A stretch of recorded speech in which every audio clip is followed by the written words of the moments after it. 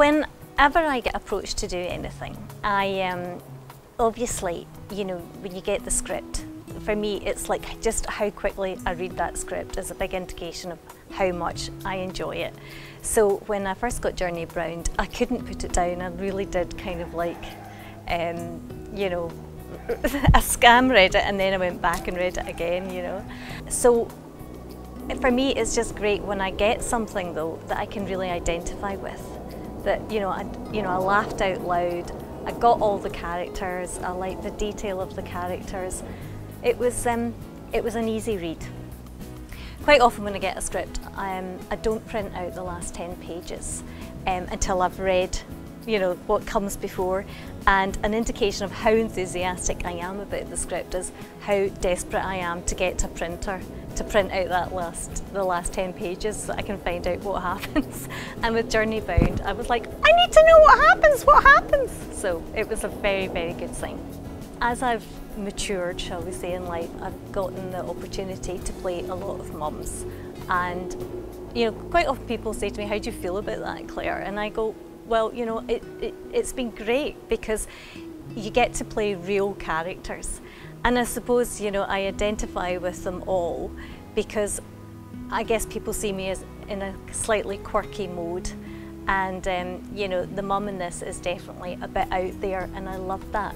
And I think there's lots of room to play with it lots and lots of room to play with it. But the most important thing is making her credible and making her real.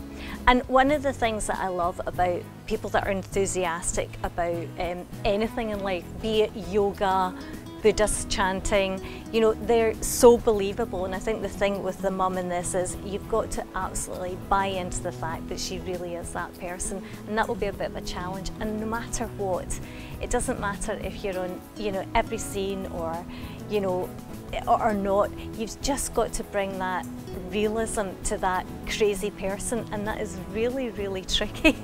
but um, I'll be giving it my best shot.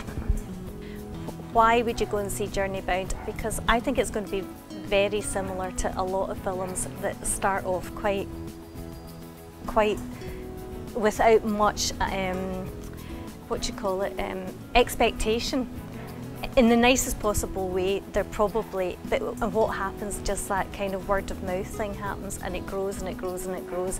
And, you know, when you don't have that huge, big marketing American uh, machine behind you, you have to be clever, you have to work on the sort of grassroots level of it.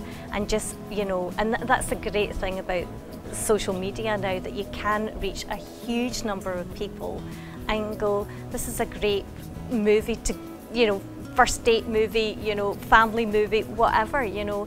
This is a, a film that lots of people will enjoy. They just need to take the plunge with it.